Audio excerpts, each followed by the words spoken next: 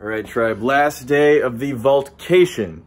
And for this final day, we're going to give a shout out to a podcast that has recently started up with members of our very own community. We have the Demigod Leclerc. In this podcast, he's the demi host. Uh, we have Baron. And then we have uh, we have Vito. We have our very own tiny Italian in there. So they just got started. If you're curious to see what they got going on, uh, the link is somewhere on this thing. We will see you guys tomorrow.